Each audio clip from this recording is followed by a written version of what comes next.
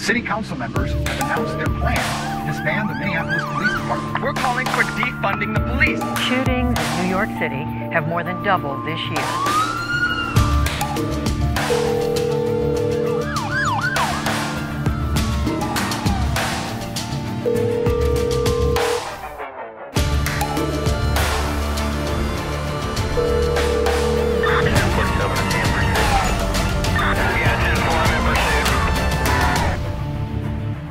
Thursday night, the best night of the week, as far as I'm concerned, although unless you're listening to this on a Saturday, is Comm Center with Drew Breasy, where we break down 911 and police stuff that's always pretty much sad every week, but we have a good time over doing it. Drew Breasy, how are you doing? You look alive and well. And uh, why don't you break down tonight's show for us before we get started?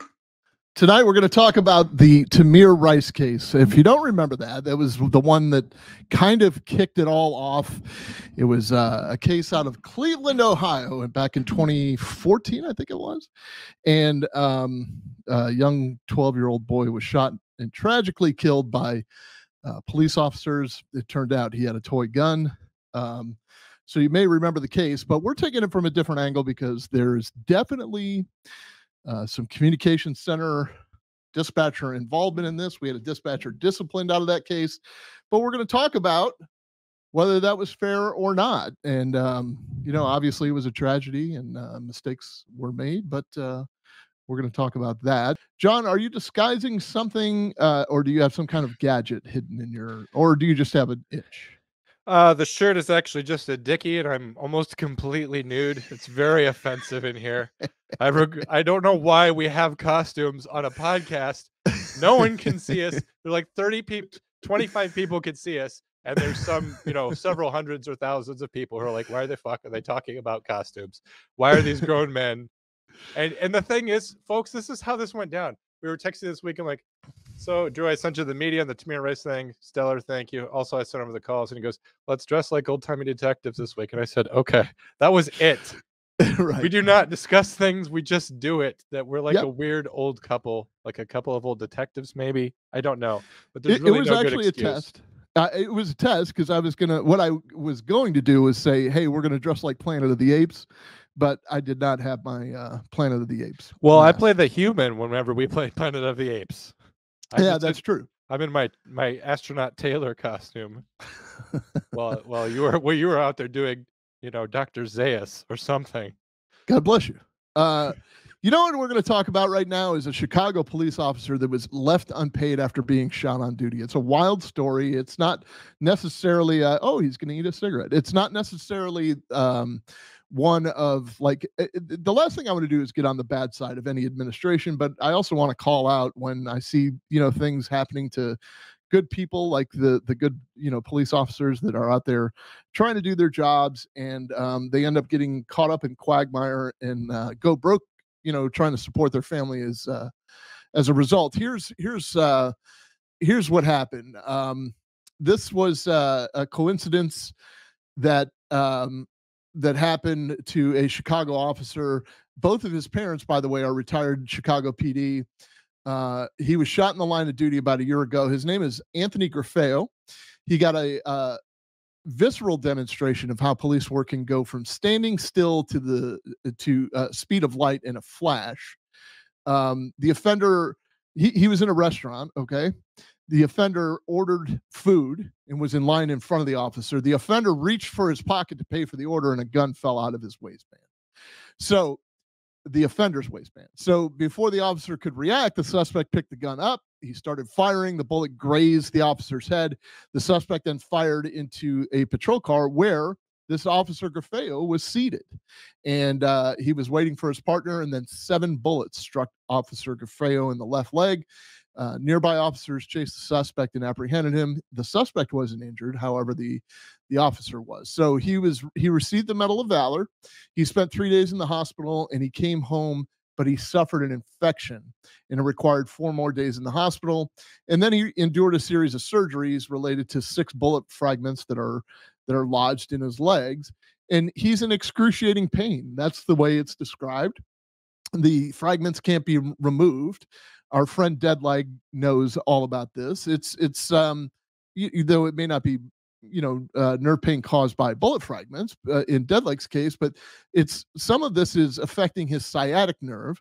The uh, injuries continue to prevent him from functioning uh, functioning normally.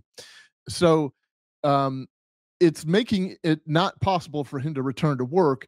And in the meantime, they're trying to decide, they being the city of Chicago, is trying to decide what to do with his medical status. Right. So this so so he sits at home. And uh, according to Fox 32 News, besides the cops, ordinary people are also fleeing Chicago in proverbial droves, rising crime rates, uh, uh, uh, crime stats enhanced by the anti-police positions of political leaders are adding to the exodus.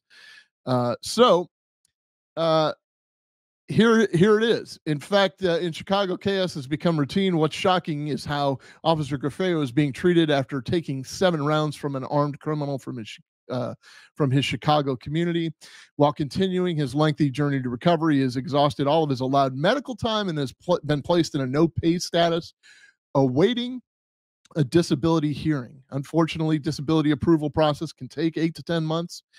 Uh, there is a there is a GoFundMe for this guy. I don't know where it is. I don't want to give you the wrong one, so we're not going to talk about that. But I'm sure you can find it on your own. Uh, but this is just a, a, a, horrid case. The the the full story can be found on his GoFundMe account, uh, explaining his medical condition and his financial situation. He's a f- husband and a father to two beautiful girls, ages four and six. He's grateful every day to be alive but he's in excruciating pain and on top of that he's in the mental pain of not knowing whether he's going to have a paycheck or a job or now uh, drew did you say this was chicago pd is this the windy city that's putting our boy down? It's the old windy city yes. Is this the same windy city that posthumously suspended hero police officer ella french? Yes. Chicago in, in... do better. This is ridiculous. You get police officer shot you stop paying them and you start suspending them. It's ridiculous. In in after her death, uh, Detective John is correct. Uh, Dick John is is right. They they suspended um, Ella French in her death, like uh, uh over us over another matter pr- prior to her being shot and killed, sacrificing her life in the line of duty. They also, as it relates to this show, as, as it relates to the the hominess, the the uh, warm embrace of communications people. They also disciplined our friend. Um, uh, he's such a good friend. Uh, just uh, his name escapes me, and he was a Chicago police officer, dispatcher, uh, who took control during the Ella French uh, situation. His name is Keith Thornton. I'm being told. We can just course, call him the operator now on account of we love the guy so much. right. He's our pal. Uh, in all seriousness, they uh, they disciplined Keith Thornton after that incident for the way he took uh, took command. He does need a patron saint of dispatcher's candle, so hopefully we'll develop something like that. We can maybe. In all seriousness, I'll say he did change the way that I dispatch and the way that I think about it. It wasn't. It was maybe a couple months after that major incident, and we had a, a bit of a horrible thing going on in the interstate. And I had to get a whole bunch of resources going there damn quick. And I had to, um, there was a gap of leadership because no one was on the scene yet. And we needed to get the interstate shut down and we needed to start working on diverting traffic and figuring that all out. And I knew which direction help was coming from. So I just start telling them, like, I want you to divert traffic at this exit. And we're going to set down a helicopter on the southbound side and all this. And uh, that's good dispatching, I guess. But it was uh, thinking of Keith and how he just took charge of a situation uh, when they're, like I said, when there's a gap of someone there to be a, an incident commander or a leader on scene. Uh, sometimes when cops are driving real fast to a thing, it doesn't hurt to have someone who can kind of sit back and take a look at the whole picture and decide what needs to get done right away. And I don't mean this in a mean way, boys, but do your thinking for you before you get there so that you could just drive safely and get there. And it was because of Keith uh, he taught me how to be a, a, better dispatcher. And, uh, you know, it's not really a cultural thing where I work that I could just tell people to stay off the air and shut up every time I've done that. That hasn't worked out for me. Uh, I've never, I've never been able to say, make the claim, get off my air, get off my air. I need units going now. I would love to do that every day, but I, I you know, I can't. But I'm, I'm uh, sure you would like to yell, take Route 19, take Route 19. It's the most direct route because you'd probably hear it's still not plowed. It's still not salted. That's so happens a lot. Actually, I had a cop get on the radio once to advise me uh, that a certain state highway uh, had snow on it. We were in the middle of a statewide snowstorm, and it was all I could do to not say, "There's snow on every fucking road in the state." Why are you advising me of that? I didn't do that though. so here's this is the dilemma of the Tamir Rice case that I wanted to discuss. I had a uh, I had a very similar situation to this, uh, in in the sense that i- i- this is definitely a critical thinking exercise. Now we're going to see that there was some information, some critical information that was left out of a call. We I don't know if it was left out of the call or not. Um, it, it was definitely relayed by the caller. I don't know if it made it to the dispatcher. I don't know if she didn't hear it. I don't know what happened. So here's the scenario that I want to lay out to you, though, John, and everybody listening. I was a young corporal, which means I'm a first line supervisor, and uh, it was towards the end of a day shift on a weekend, and we get a call that there is a neighborhood dispute going on, and um, it escalated to the point where one neighbor was pointing a, a rifle out of his window at another neighbor. So we went from um, just this regular run of the mill kind of, you know, I worked in an area where neighborhood disputes were frequent to, man, there's a guy pointing a gun, there's kids everywhere and all that other stuff. So I, I show up there and to much to my dismay, there is uh, one deputy that is screaming, negotiating with the person in on the other side of the door of the trailer. Um, they tell me they have seen a gun. They can't identify it. There's somebody holding deadly force on the door, which is good with a rifle, by the way. That like that was back before it was fashionable. And uh, there was a third that was just kind of holding deadly force with the gun. Now, while they're negotiating, I, I take a look around and I see behind me, uh, like the neighborhood just kind of milling about, and I'm I'm pretty concerned by that. So I tell all the other deputies, hey, why don't we get everybody out of the way? They could be in a crossfire situation here. And uh, there's actually an intern. You know, I look to my right, uh, and there's an intern standing next to me. Like, what are you doing here? Uh, and she's like, yeah, I, I just I I was riding with so and so, and so I'm like, okay, will you go back over there? Uh, now, he- here's where the interesting dilemma comes in, and this is this is split second decision making. Bear in mind, um, one of the neighbors creeps up behind me, which is never really a great idea, but one of the uh, neighbors creeps up behind me and says, uh, "Hey, if y'all are worried about that gun, it's fake. It's a BB gun." And I said, "Okay." I mean, these are the same people that called us saying that the guy pointed a rifle out the thing. We also have deputies who have identified the fact that this guy was pointing a rifle out as they were pulling up. So now I'm concerned. I'm trying to figure out what do I do here? And the dilemma is this, John. Do I creep up behind those deputies and say, hey guys, don't worry, it's a fake? And watch them bring their temperature down or bring their um, vigilance down and everything else, only to find out an hour later it was actually real. No, you always have to treat it like it's a real incident. You can't send police officers to the scene saying, "Oh, he's got a fake gun or a Okay. fake knife or whatever." Like you have to assume it's real. Okay, so this is the lead into this case because what if you did that and you knew? a- a- and First of all, I'm not going to assume that it's not real anyway. But what if you what if you do that? Now this guy has he's not bound by anything. They shoot and kill the the person behind the the door at the trailer, which they did not do. Luckily, thank God. You know, uh, I just got mad enough to yell at the guy to come out uh, because I save every situation, John, uh, even when the power goes out. So uh, finally, this guy just comes out. Come to find out, it was a real gun. But this guy is telling us that it's a fake gun. So now I'm thinking in my mind, in my own little mini after action report, what if that was a fake gun and they lit that guy up six ways to eternity? And they said uh, th- this guy behind me, the neighbor behind me, said I told those cops that it was that it was a fake gun, and then the the homicide people or the major or the colonel or the sheriff comes out and says, "Who did he tell that that was a fake gun?" And I have to raise my hand and say, "Yeah, they he told me it was a fake." Gun, but I Yeah, no one no one wants to take take responsibility for totally changing an incident to be fundamentally more dangerous because you're telling police officers to lower their level of response or vigilance. No one wants to be in that situation.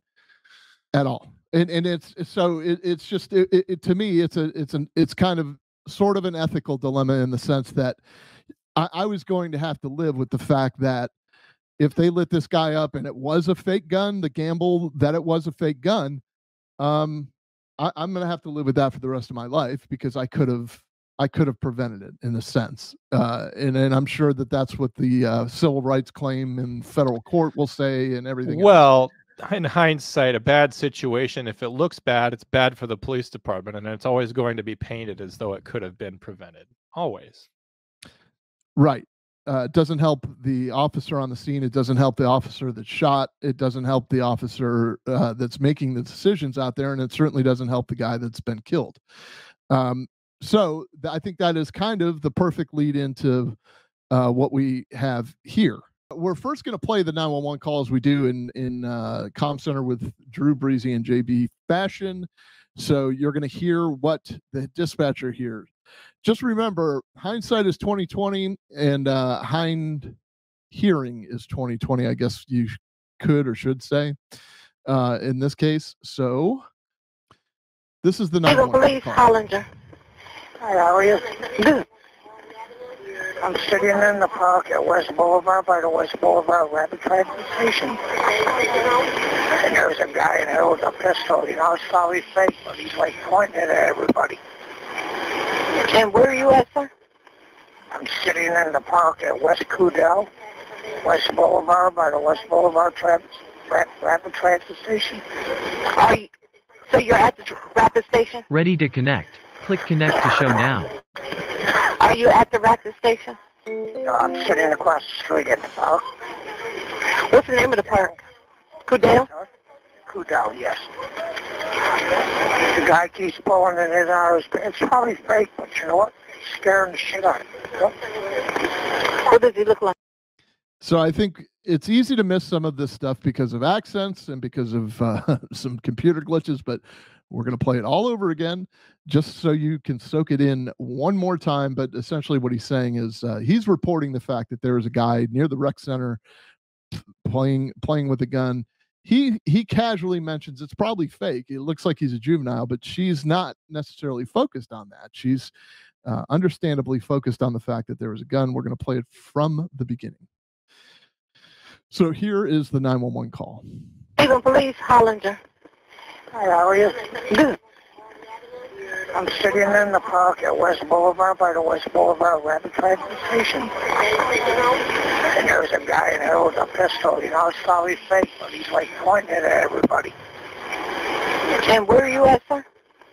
I'm sitting in the park at West Cudell, West Boulevard by the West Boulevard Trans- Rapid Transit Station. Are you, so you're at the rapid station? Are you at the rapid station? I'm sitting across the street at the park. What's the name of the park? Cudell? Cudell, yes. The guy keeps pulling it in out of his pants. It's probably fake, but you know what? He's scaring the shit out of me. you know? What does he look like? He has a camouflage hat on. Is he black or white? He has a gray, gray coat with black sleeves and gray pants on. Is he black or white? I'm sorry, Is he black or white? he's black. You said a camel jacket and gray pants? No, he has a camouflage hat on. You know what that is? Desert Storm. And his jacket is gray, and he's got black sleeves on it. He's sitting on a swing right now, but he keeps pulling it in and out of his pants and pointing at people. It's probably a juvenile, you know.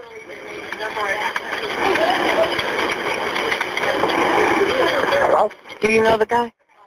No, I do not. Sure. Okay, what's the police, okay? I'm getting ready to leave, but you know what? He's right there by the, you know, the youth center or whatever. And he keeps pulling it in and out of his pants. I don't know if it's real or not. You know? Okay, we'll send a call, okay, thank you. Thank you. Mm. Okay, so that's the end of the audio. John, what are your observations right off the bat? Well, first of all, you're getting conflicting things. So when people talk about this case, they're like, "Oh, the caller called in and said, you know, he had a fake gun." He said it a couple times, but the last thing he says, "I don't know if it's real or not." So he kind of bought back the whole fake gun thing. Yeah, it got said that the gun was fake, but by the end, he's kind of now operating from the same standpoint as you and me and police officers. Like, is it a fake gun? I guess we don't know. And Drew, I would also like you to break down as a police officer the difference between and the the name of the charges is going to vary by jurisdiction. But what's the difference be- between brandishing a firearm and pointing it at someone? What is the legal difference in terms of what you would charge them with? Well, it depends. There's an improper exhibition of a firearm in the state of Florida. There's also uh, carrying a concealed firearm, and there's also the fact that he's under 21. So, um, w- uh, of course, we wouldn't know that until it's time to, um, to you know, to deal with him. There's also there, there's all kinds of firearm related charges, such as like, you know, the commission of a felony while in possession of a firearm, whether th- they use the firearm or not. But if you're just out um, kind of twirling around or taking it out of your wristband or playing, you know, training day with it or whatever, um, it's going to be kind of a um, like an improper exhibition, so to speak, uh, so to speak. And if somebody gets hurt as a result, it, it would, you know, could easily turn into like a culpable negligence type situation. Now, what is it when you point it at somebody, Drew? Aggravated battery or aggravated assault, if there's some kind of threat associated with it, and it puts the person in fear of their life.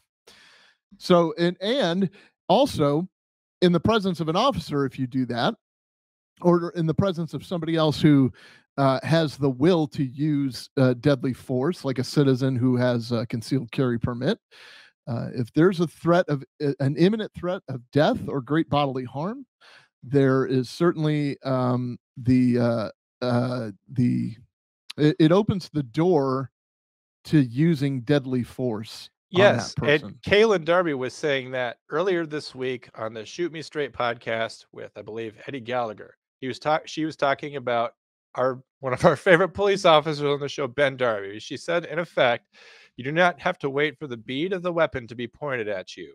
If you see someone with a firearm and you have reason reason to believe that someone, whether it's you or a bystander or another police officer, is about to come to harm, you do not have to give a warning or seven warnings in the case of Ben Darby you are authorized to use force. That's what a police officer would do if they were there, seeing this kid pointing what appears to be a firearm at someone else. Drew, go ahead.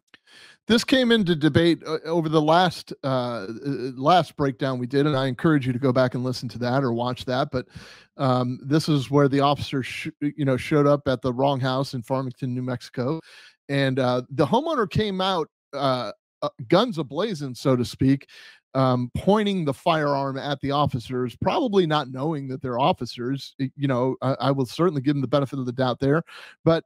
The point is, he's Would you have if you were firearm. on scene though, Drew? Would you have given him a benefit of a doubt if you were there?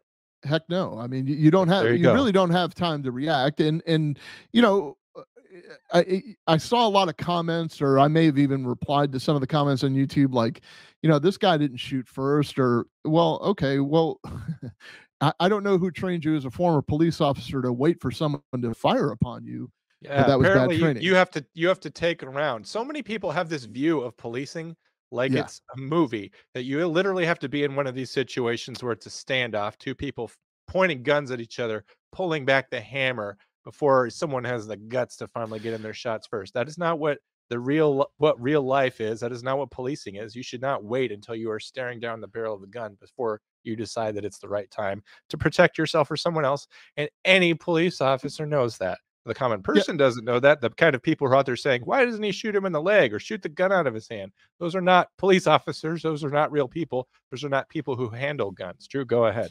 this is this is uh, in the pile of things that people just don't understand such as well why did they shoot him 31 times or uh, why did they shoot him in the back um, deadly force is deadly force. It doesn't matter where the bullet lands or where the bullet enters the body. And the body does funky things when people are trying to get away and they're shooting at you or they're pointing a gun at you. Um, and the other thing is too, it's not like old timey TV where you shoot the guy and he grabs his heart and just kind of starts doing a herky jerky and then falls to his knees. And uh, shooting somebody could mean he's standing straight up uh, and you could hit him four, six, eight, ten times and he's still standing. And what are you supposed to be doing at that point? Like the goal probably or or the goal should not be just to kill somebody, but the goal is to stop the threat. Stop And if the- neutralize the threat. Yep. Yeah, neutralize the threat. And if the if the threat isn't neutralized, you keep going. And and that's that's Was it wasn't that's an that case unfortunate that part. was um I'm trying to remember it. I'm sorry, I, I don't remember the name, but we recently had oh gosh, I'm conflating things now. But there was a poli- there was a guy who he attempted to steal somebody's taser, I believe. Maybe I'm mixing two cases up, but he was shot by a whole bunch of police officers who all ra- reacted to the same threat at the same time. He was shot a lot, and when asked why he was shot so many times, the public information officer, the chief, the sheriff said because they ran out of bullets. That's why he Well, was shot that- that many times. Yeah, you are conflating a few stories. That was Grady Judd that said that. Um, Sorry, there's a couple good stories in there. Just pay attention to the one that I meant, not the ones I but it's mean. true. I mean, uh, Jayland Walker was the case where everybody kind of uh, shot at the same time to kind of deflate the argument that it was sympathetic fire. Everybody saw the threat at the same time.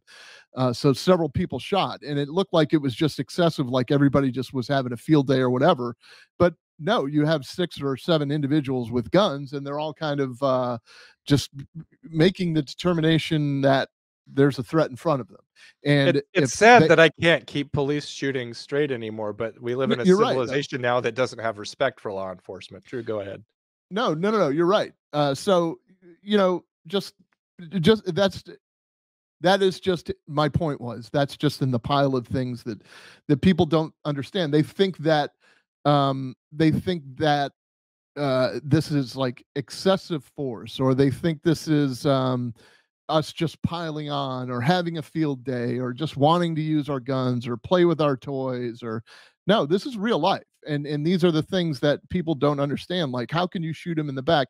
E- even the the the alleged uh, shooting in the back of Mike Brown, which was not true. I mean, i- i- if he did, if he was shot in the back, it was because he was falling, um, and a bullet landed in his back. That's kind of neither neither here nor there. Like when you have use when you have the authority to use deadly force, it doesn't matter where the bullet lands. Your your your focus is to neutralize the threat.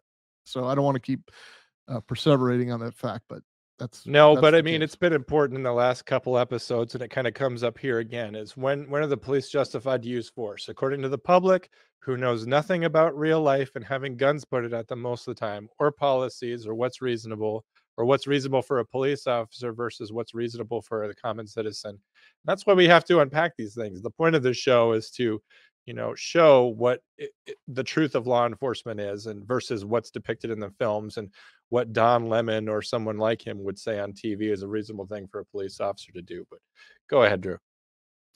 Um, okay, so there is reasonable, and then there's uh, what everybody thinks should be reasonable, and uh, we all know that it's what a reasonable officer would do. It's not what a reasonable citizen would do because we're trained differently, um, and that's just the reality of the business. So we're going to look at the video at this point. Now there are there are issues uh, that came of this, and you know we'll discuss them but here uh, we may have to narrate some of this because I don't think there's sound in this. The video footage is that of uh, a snowy ground. Uh, there's a gazebo. You can kind of make out a shadowy figure sitting at the picnic table. That's what the guy on the phone is describing. And the officers approach from the right side of your screen. You can see the subject stand up. That's Tamir Rice. He's walking towards the front of the gazebo. The car literally pulls up on the grass. And as the passenger police officer pulls out, you see Tamir doubled over. And then you see the, the driver officer run to the front of the car, the passenger officer run for cover to the back of the car, and they immediately get on the radio and say, you know, shots fired and, and everything else. It wasn't immediately clear to the dispatcher that um, they had fired the shots, and it wasn't immediately clear that they had hit the, the suspect, which became an issue later on but uh, that's what you're seeing there in that video. It happened that quick. According to the officer that was in the passenger seat, who was uh, a rookie at that point, um, he uh, yelled through the window, "Show me your hands! Show me your hands! Show me hand! Show me your hands!" Uh, or he yelled as he was getting out of the car, "Show me your hands! Show me your hands!" Within two seconds, he shot Tamir Rice. The the gun, by the way, uh, the reason reasoning behind it was th- they were yelling, "Show me your hands! Show me your hands!" He went straight to his waistband, and um, you can see the on the video. There there are plenty of videos for you to review on YouTube of this shooting. Uh, th- there's no shortage of that. In fact, um, as you can imagine, uh, again, the the elephant in the room is that uh, Tamir is a 12 year old black male, and you know, God rest his soul, he was a kid playing around with a toy gun, and uh, perhaps he didn't understand the full consequences of, of playing around with a toy gun, but the gun looked so real that somebody called 911 and said, "Hey, there's a guy with a gun playing with it out here." And we need you to address it. Nobody knows what the guy's intentions are. Nobody knows that he's 12 years old at the time the bullets leave the, the officer's gun. Uh, in fact, you know, you, you'll see some compelling testimony of the uh, the driver, the FTO, the officer that that says, you know, then he- he- he's trying to describe like then we look down and we see this kid he's she's shot in the abdomen and he's just a kid. You know and it's just like a just like this moment of gravity while he's giving his interview and he just breaks down crying. Like it's just it's a horrible horrible tragedy. I feel uh, horrible for the kid. I feel horrible for the kid's family. His mother is very vocal about this whole thing. But we uh, are in the united states of america and unfortunately this is an automatic reason to call this race based this is an automatic reason to say two white police officers got out of a car and shot this 12 year old black boy. Um, we're, we're gonna we're gonna neglect to tell everybody that this gun looked real. We're gonna we're gonna neglect to tell everybody that there was actually a working magazine that came out of the gun. There was no orange barrel that would denote uh, that it was a toy gun that he reached for the gun as the officers were coming up probably because he didn't know what to do because 12 year old kids maybe don't uh, or maybe he was trained i don't know but the, the bottom line is he went for this gun and it was it was seen on the ground behind him so obviously he pulled the gun out as the officers were were pulling up completely tragic situation uh and, Very, and very tragic, but don't forget to add that a reasonable person dialed 911, an emergency line, believing that an emergency existed in the park and that people might be in danger from a firearm. Yeah, he said it could be a toy, but uh, he also kind of said maybe it's not. And I would, I would put forward to you, and this is not something that's legally durable or an aha gotcha moment, but it's tacitly implied by the mere fact that he's dialing 911 that there's a good chance that it's real because a fake toy is just sort of a you know or a fake gun is not really something that needs to be addressed by the police i mean kind of yes but i mean it's not an emergency because they're not capable of killing someone with a toy gun however this man dialed 911 and said looks like a maybe a fake gun but maybe it's not i don't know. Plus you have just the whole tacit 911 call that says an emergency exists. Drew go ahead. Um the the the, w- the honest headline would read uh officer shoots boy with with what he thought was a gun. But the the obvious um wh- what today's media wants to portray and what they want to uh, instill into the black community uh, and uh, perpetuate this mistrust of police officers they say white officer kills young black child who had a toy gun. There's no way to tell that that was a toy gun. G- see for yourself. Go on and line and look. The the other thing is this was all you know there was a judge that found probable cause to send this to a grand jury. The grand jury agreed there's no way you can charge these officers. It was reasonable. They they didn't they didn't know that it was a toy and there was somebody reaching for a gun as they're pulling up. I think the only argument that could be made is that they put themselves in that position. They came a little bit too close, but that's that's up to the grand jury, and the grand jury made the decision. The Department of Justice did the same thing. They spent a couple years scrutinizing this case, as a matter of fact, and uh, during the Trump administration, closed the case. They determined that the officers acted in a reasonable manner, and that this case was, should be closed.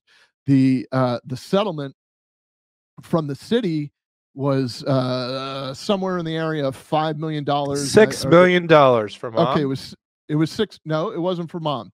It was five point five million dollars for uh, Tamir Rice's estate, two hundred and fifty thousand dollars for the mom, and two hundred and fifty thousand dollars to the sister.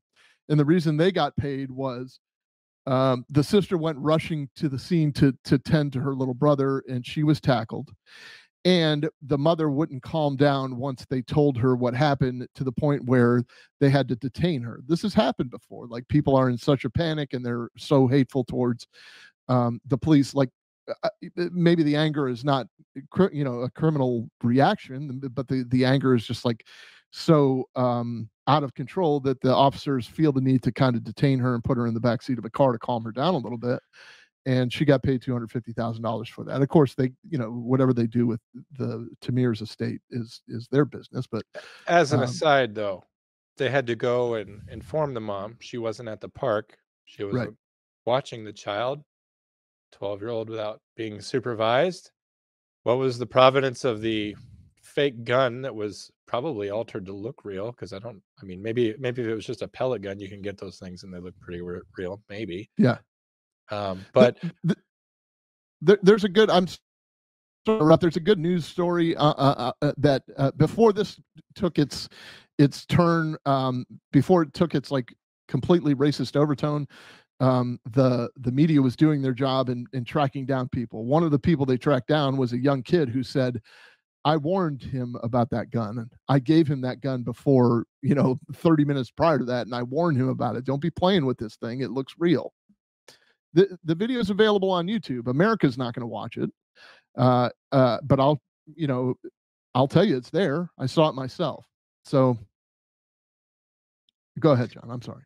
No, it's it just I almost want to I almost I'll just put you on the spot. Do you want to open up the can of worms that is the mother or do you just want to leave her in peace on this show? I'll, I'll leave her in peace because I don't think uh, this is this is uh, comparable to, and and this might ruffle a few feathers still, but this is comparable to trying to convince the parents at Uvalde that th- there are extenuating circumstances of why the officers did what the officers did.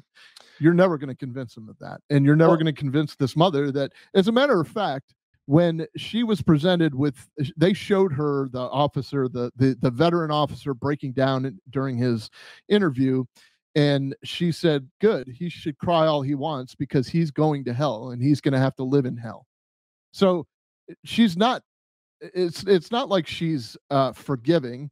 And anytime they need an expert, they go to her to ask her what her opinion is on these shootings. But I, I'm just frankly sick and tired of them automatically being labeled as racist shootings. And there's no accountability whatsoever of the behavior of the person that was shot. I understand this is a complete tragedy. This is a 12 year old boy who was playing with a gun, and some police officers pulled up, and, and maybe he panicked and whatever, uh, and was tragically killed. But we we in America, not us uh, excluded, have to go to the fact that this is automatically racist and take it from there.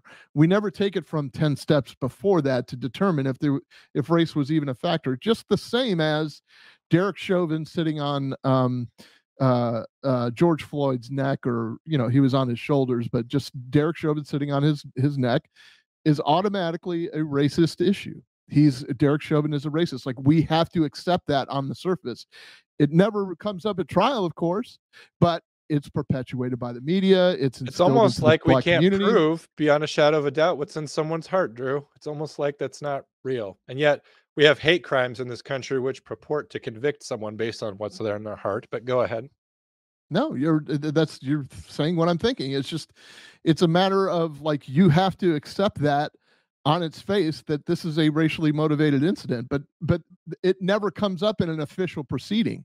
No one ever swears to it. No one ever says we are charging you with uh, an aggravated murder because it is racially motivated. You will never hear that. You you just hear that in the media. That black it, it was the it was the example I gave in the the the fake master class I gave where you know it was uh I, I can't remember what the one shooting was uh, oh it was the old man it was the you know the 86 year old man who shot the young black boy who who had rang the doorbell of the wrong house. And then the next story on CNN was uh, 14 people were sh- shot, four were murdered at a birthday party, but they didn't mention the race of anybody involved because it's not, it doesn't evoke any emotion. It doesn't pull any emotion out. And, and to me, that's sinister. That's dirty. Well, You, you can't, you can't do that to undermine an entire community like that. That's, that's not fair. Exactly. And I'll take the most controversial stance I've ever taken. Racism is reprehensible. And I've said before that it's the worst thing in our society that requires the least amount of proof. But it should not be against the law to be racist because you are policing someone's thoughts and you're policing their beliefs. And your freedom to think what you want to think and say what you want to think means you are free to be a reprehensible dumbass. It is not the job of the government to punish you for having racist thoughts. And so, when you take someone and you convict them of a hate crime, you are elevating the status of whoever that victim is, whatever that protected status, and says, well, if you're a black person or a homosexual person or whatever it is that your status is that qualifies this as a hate crime, and you say that person is a more of a special status. The truth is, if you're going to go out and you're going to assault someone or you're going to kill them or whatever you're going to do, whatever in your heart doesn't matter because all people are equal in this country or we're supposed to be and those crimes should all be treated as equally reprehensible regardless of the victim drew i have been fired go ahead You're fired and you are rehired. You're canceled and uh, you are you have been elevated to uh, host once again.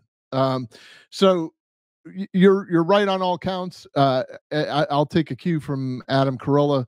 What a time to be a racist, right? Because an actual racist can get away with murder right now because we're all considered racist. Like it, it, it is watered down so much to the point that everything is racism that actual racists like KKK people or uh, they can operate with free will because we're all kind of lumped into one category, especially if you wear a red hat. It doesn't matter what it says. It doesn't matter if, if you're anti-Trump or not. Uh, if you wear a red hat, apparently you're automatically a racist. So that's kind of all I have on this case. I mean, it, it's it, it starts with the ethical dilemma of, uh, you know, I guess we should mention that the dispatcher in this that's case what i was was going to get at yeah she was sus- oh go she for was. Yeah, suspended go. she was suspended eight days and not to keep going back to the mother but she said only eight days the system is broken and and without opening the can of worms somehow i have to address the fact that your little boy was shot and it is the system's fault it was never the mother's fault for not keeping a juvenile under supervision or making sure that he would never be placed in a situation in which he would be in any kind of danger. Let's take the police out of the situation. Suppose he's out there playing with the park and he's got a, a toy gun and random person you can say uh, johnny uh, concealed carry or you know freddie scumbag from the bloods and the crips or whatever. You're out there and you have a situation with a person with a gun. You have no idea how other people are going to react to that except with a high probability of lethal force a child should never be in possession of a gun obviously let alone a, a toy gun waving it around acting that way to park and the system that first failed that boy, which you can make arguments any way you want, but was the maternal system because your child should not be out there doing that. So her for her to, to rail against the dispatcher and say, you know, eight hours uh, or eight days of suspension's not enough. She's out for blood. I don't know what you could do to that dispatcher that would bring back the life of a 12 year old boy or somehow equalize that. I mean, are we supposed to fire her and kill her too? I mean, where does it end? And before you start pointing fingers at other people, just point them at yourself first. That's all I ask. Drew, go ahead. Well, eh, I, I guess the the the question I would have is what what neg what did she did what did she do that was negligent? Now the, the, there may be an argument. I haven't read the CAD call. I don't know what's in the CAD call, so I don't know if she put in there that it may be fake or whatever. Obviously, that didn't convey to, convey to the dispatcher, and the dispatcher still has to make to a radio dispatcher has still has a, a, a decision to make of whether the, you know they're going to relay that information if they even see it. So um, again, when you get a call about a person with a gun, you're going to treat it like a Yeah, person with a gun. It- it- You can't say it's possibly fake because you're putting a police officer's life in danger. Because what if it's real? Obviously, you're supposed to err on the side of caution. You're supposed to resolve all doubt in your favor. You would not tell a police officer that he's about to go face down with someone with a fake gun unless you know the thing's obviously orange. Some they were throwing it around. They picked it up out of a pond and they're still pointing it. You know it's inflatable i don't know but it's just some really really really obvious not gun situation but in case when there's obviously some doubt about it to the point where a 911 call is you're not going to tell the police officer this thing's a fake gun make sure you don't blow away the kid. Now drew i have to ask you this because you mentioned uvalde we talk about police officers not being uh you know they're not charging into the scene they're not taking care of the suspect right away. This is a situation where police officers zoomed right in there and uh, stopped it and it turned out it wasn't a threat to anyone, and that's why we're in the situation that we're in.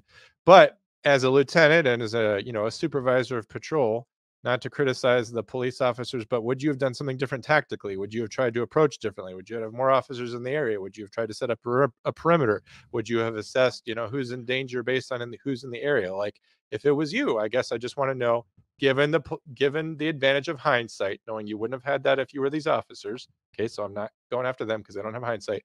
But given hindsight, Drew, what would you think about doing it differently? Just as a thought Um, experiment. Go ahead.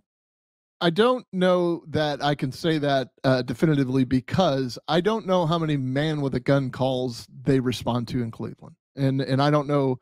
I, I could tell you probably from my experience where you know where I was patrolling maybe wasn't as densely populated. So uh, perhaps I would have given myself some distance if I was the only one there. If I was the first one there, I would have given myself some distance and maybe used the PA uh, and treated it like a felony stop and if it's a real gun you're going to know pretty quickly but at least you have some distance in between.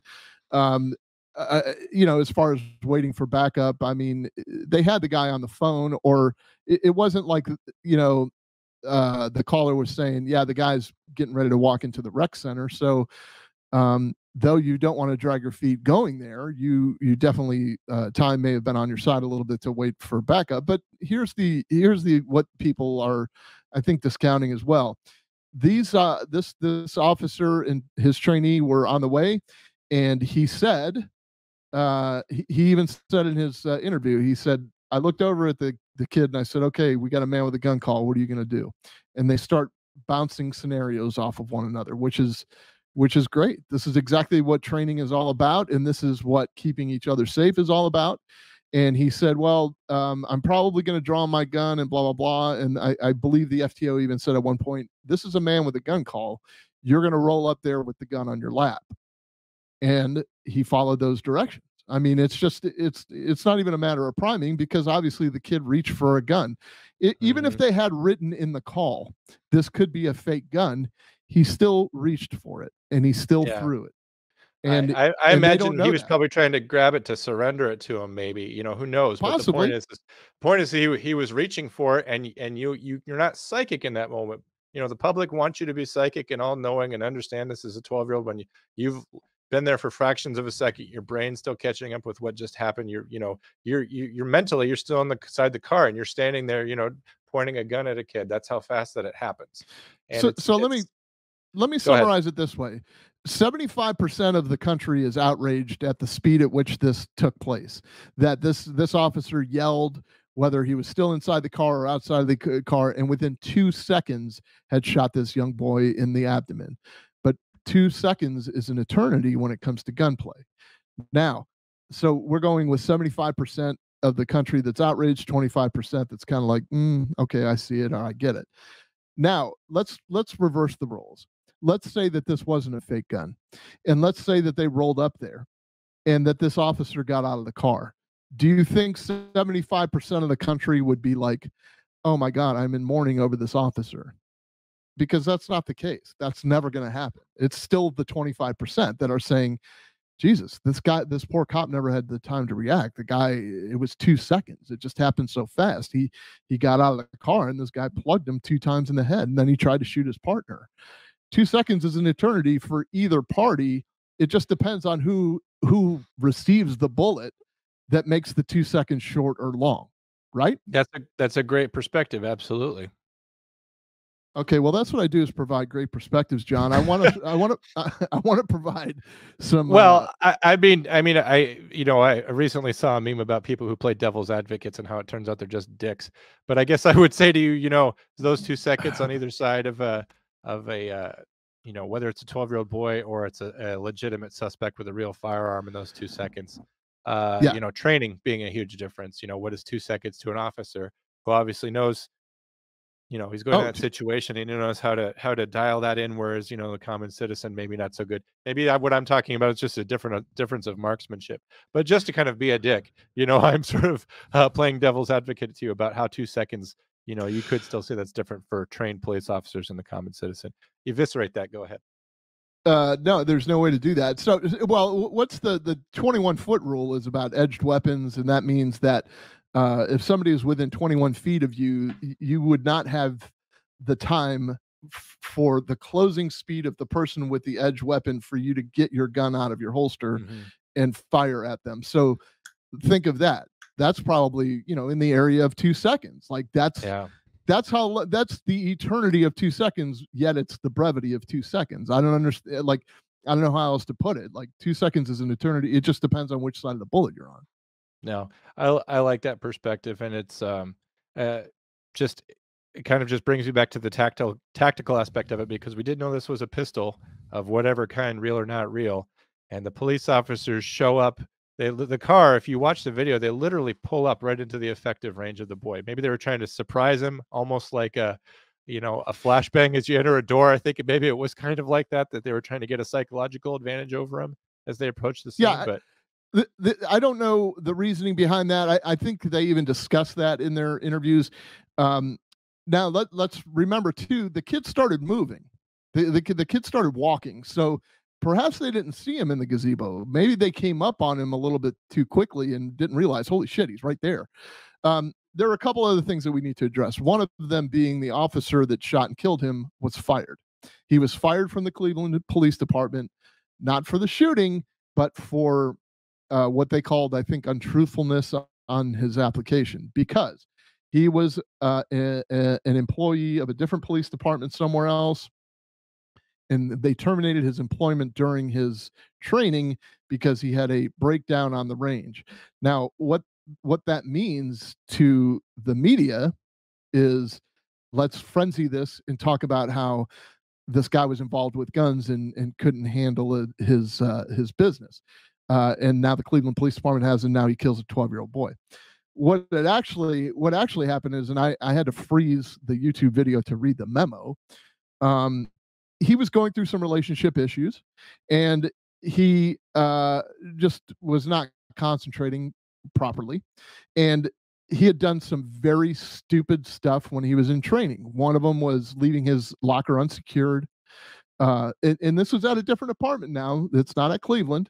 So he left his locker unsecured with his gun in it after he had been issued the gun. He had the breakdown at the range where he couldn't do the drills because he was just in a, an emotional mess, in a bad state because of a girlfriend issue. So they wrote uh, this uh, termination memo that just essentially said, you know, I- I don't feel that his maturity level is is that he's ready to be a police officer with our agency and they terminated him they said okay because you can do that. When somebody's on probation you don't have to pass them through your probationary period. Uh, it's it's an at will situation at that point. You can just terminate as long as you know you're not doing it for um, nefarious reasons you got to be able to justify it and they justified it with this memo or with this uh, with this letter or whatever. So he goes on to apply for the cleveland police department at somebody else's urging and i guess he doesn't fully disclose what or, or or maybe he interprets it differently of why he was terminated from this other position or uh, you know maybe he phrases it as he chose not to work there. That's me paraphrasing it. I don't know exactly if that's what happened. So when they they were just under so much pressure from the community that they said they took a look at this and they said okay good enough you're fired. And they fired him. So he went to go work somewhere else recently. We're talking about the last two months or three months. And just before he was sworn in they uh, it was a one person police department and just before he was sworn in somebody got to the mayor and said hey you know who that is? That's the kid the kid that's the guy that killed tamir rice and mysteriously he's out of a job again. So he'll never he'll never work in police uh, you know whether he was justified or not whether the department of justice said he was justified whether the grand jury said he was justified whether his agency said he was justified uh, public opinion says he was not and he will never work in law enforcement again just based on those arbitrary rules that we throw on people because this was an outrageous case because of the kid's age again we're skipping a lot of steps the the kid's age means he probably shouldn't have been playing with a gun that looks so real. But we're not talking about that. And- Well, no one should be playing with a gun. I mean, when they roll up on scene, did- I mean, did they? They thought it was possibly a juvenile. I don't know if the juvenile thing made it through the radio, but that doesn't man matter to me though. Man with a gun. I mean, well, exactly. It was exactly what I was getting at. Is that it doesn't doesn't matter if he's twelve. He could still shoot someone. In fact, in some ways, it's possible that you know he doesn't appreciate the gravity of holding a firearm and maybe he's more reckless you know so and but they rolled up on him so fast they didn't be like oh this is an innocent 12 year old unfortunately that kind of reckoning didn't take place until he was af- until after he was shot i'm not saying it that it should have changed anything it's just it's especially sad because he is 12 years old and circling back to what i said before because it's so bad it's going to be presented as though it could have been prevented which i'm just not sure that it could have been. Drew go ahead. Excuse me. Um you know I, I just don't want this to seem like an opportunistic uh uh broadcast that we're we're choosing this to pile on the mother or we're choosing this to talk about race or we're i mean it's an important issue when it comes to communications and when it comes to law enforcement and that's what we do that's that's what the show is about uh So- we so we what do you think about the eight day suspension then I I don't I, I said a minute ago I don't know that I, I wasn't able to read the CAD call, so I don't know what she put in there. I, I don't know that this is a training issue though, because here's the deal. When you hear man with a gun, you think description. I want to know who the officers are rolling up on. All this superfluous information, which turns out to be very, very relevant in hindsight, uh, is not relevant to you. What's relevant is he's wearing a gray hoodie, he's got a camouflage cap on, and he's a black male. And as you pointed out, just like last week and just like this week, the caller doesn't want to say he's a black male. And this is, uh, you know, and I'm, I'm maybe I'm stereotyping here, but I believe the dispatcher's black. So she's not uncomfortable asking, and Mhm. nobody should be uncomfortable. She's this is this is what's wrong with America. This is what's perpetuating these problems. Someone's afraid to say, yes, that's a black male with a camouflage cap, blah, blah, blah. Because as a police officer, as a human being, as whatever, that's the first thing you're going to eliminate. You're, you're going to, you can eliminate 50% of the population essentially when you roll up and there's 16 people standing there. If they said it's a white kid and he's standing in a group of black kids, all the black kids step aside. I want to talk to that guy. yeah It works both ways. But you have to know the description. So just knowing the description is not racist inherently. I No. just want to know is it a black male or a white male? It's a white male. Or She- he's she'd Hispanic. ask him like three times and to get him to say that because he was caught up on Right. the camouflage this and all that. He didn't want so to while say. she, right so while she's typing and she's she's putting in pertinent information he's throwing in he's peppering in little details such as he looks like a kid could be a fake gun yeah any gun could be a fake gun anybody could be a kid it doesn't the the, the, the age of the um the age of the kid as long as he's strong enough to pull the trigger that's what matters you know if it's an infant holding a gun i think that's a, probably a different urgency but um you know she's just trying to get it so i think i think eight days was probably and i don't know the rest of the story i don't know what went into the discipline so i, I do just on the surface and i hate doing this because again i'd like to get all the facts but you don't know. eight enough, days yeah. seems to be a little bit way too punitive it seems to be like that they were they were pressured socially to do something about this uh you know eight days you can't punish somebody because you cost the agency five million dollars uh, as long as they were operating within their guidelines she's a human being and she god forbid she doesn't want to see a 12 year old kid get shot No, killed. of course not. and then she doesn't want to see an officer get shot and killed either and that's No. that's her priority at that moment so I thought I thought she handled the call well. You know, we there's the missing piece, like you alluded to, is we don't know the call details. We don't know what the you know what went out to over the radio and what went on to the MDT. And of course, I would say that if officers responding to a man with a gun aren't reading the computer, they're just driving. Um, Right. But it, they they had to punish someone. You know, like like when I said when it looks bad, you've got to you've got to find somebody to blame. It's always the case. Because the dispatcher was heavily involved in this case, she was punished too. But it's it's That's such a weird number to me. I guess eight days. You know, not five days, not not 10 days, eight days, you know, a week and a half. It just it's strange to me. So I'm just wondering kind of what, you know, if you if you if you have ever suspended a dispatcher and why and for how long and what would that be comparable to in your experience if you have any? Well, I, yes, I have. I've demoted a dispatcher. I, I've suspended some dispatchers, but I mean, n- not over stuff like this. Like, the, you know, if you're looking at the subject, if we're looking at the reasonableness of the officer shooting, why aren't we looking at the reasonableness of her, in, uh, you know, what she input? Now, the other part of this is, and and I I I think sometimes in disciplinary cases you can hang your hat on this. They're heavily protected by unions, and they also uh, she also very specifically did not.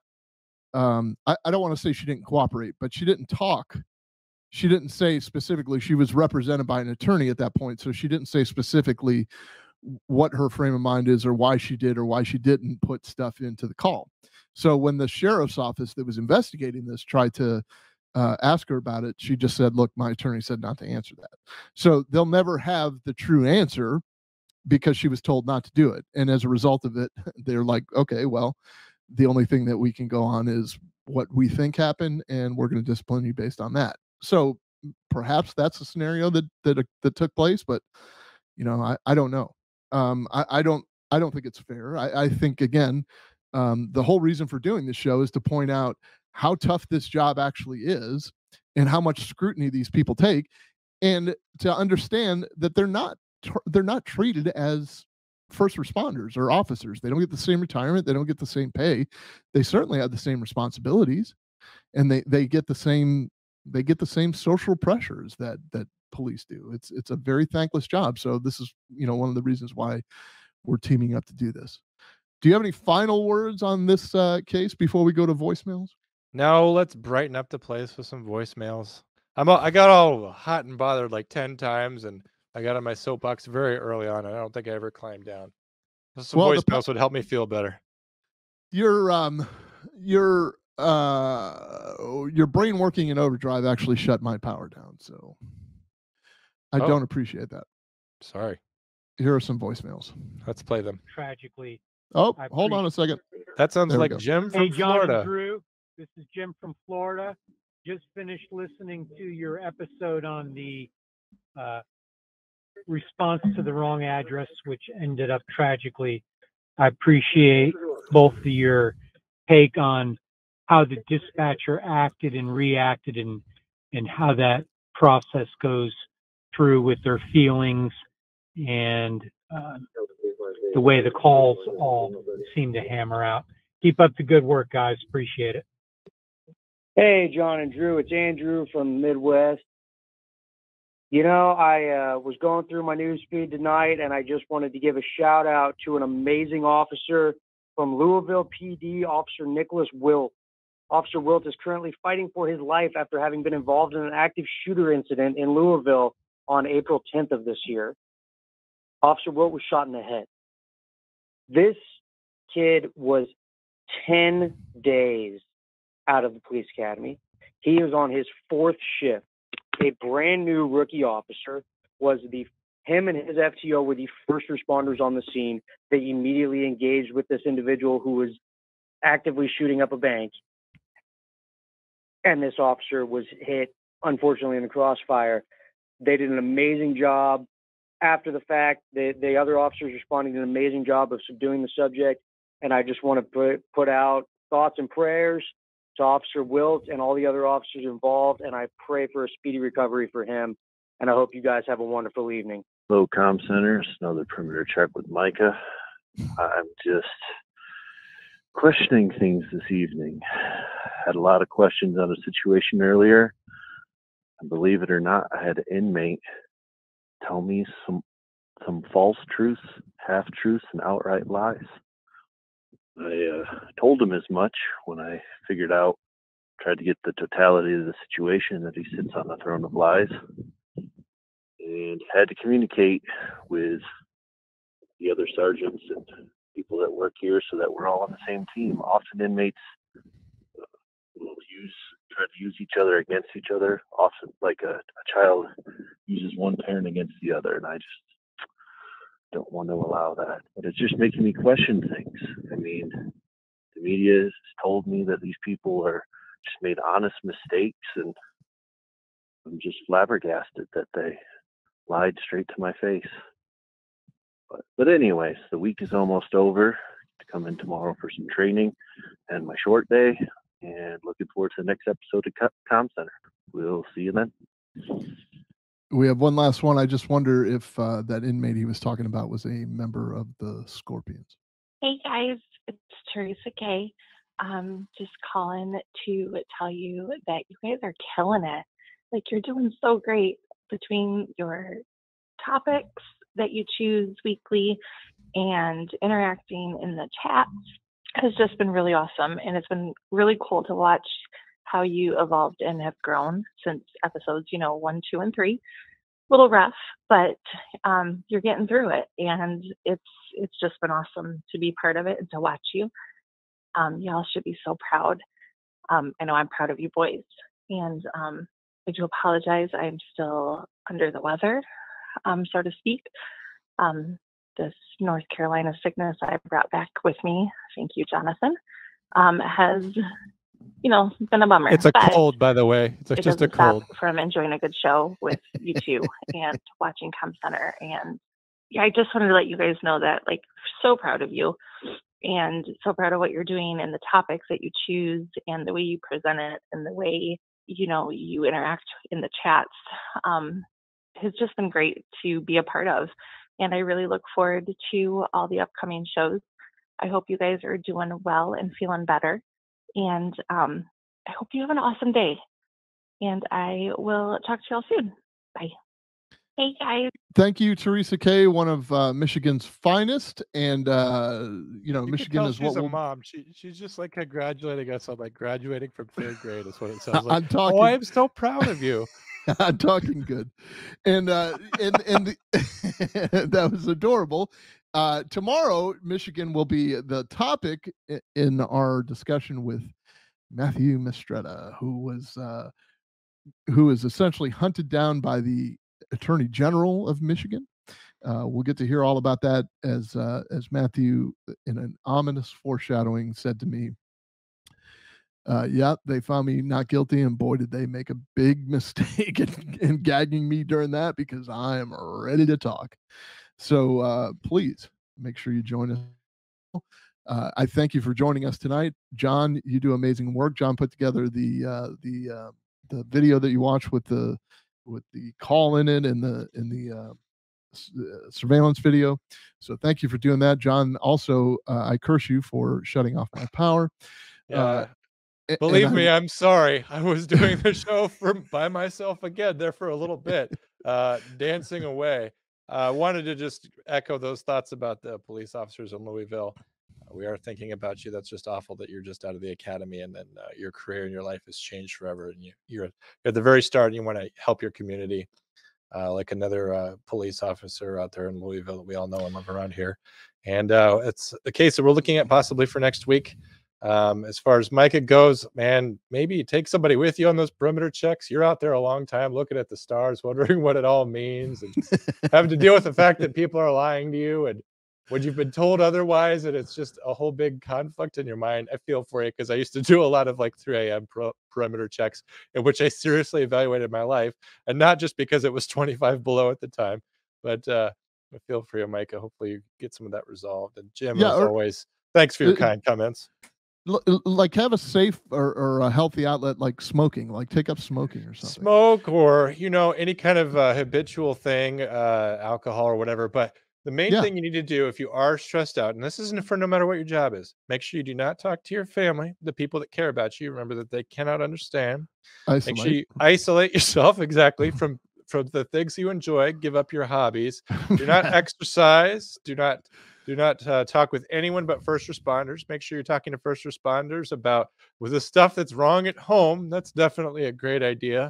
And Uh, uh, did i mention alcohol? Drew go ahead. Yeah and by all means if if anybody asks if you're okay uh please respond with gritted teeth. I'm fine. I'm fine. Yeah. Uh no all of that was bad advice. If you are struggling uh call 848 com 911 uh, reach out to us. We will not play everything on the air, but if you are having a hard time and you want to talk to Drew, who's been around the corner a few times, and me about half as many times, you could talk to us. Maybe we could see if we could uh, just help you out by listening and talk to you about it, or maybe you know if we need to send you towards another resource. That's not a problem, guys. You can talk about your stuff and don't don't uh, don't think that uh, there's no solution and you just have to deal with it. There's a way. There's a way out of how you're feeling, and it doesn't have to get as bad as what Micah is going through. John, will you do me a favor and stick around till tomorrow? Uh, when, uh, well, actually, till next week when we are together as a Comm Center family. Uh, this is uh, Drew Breasy with JB, my right hand. Good Wolfpack. night. We love you. Good night. Stop saying good night.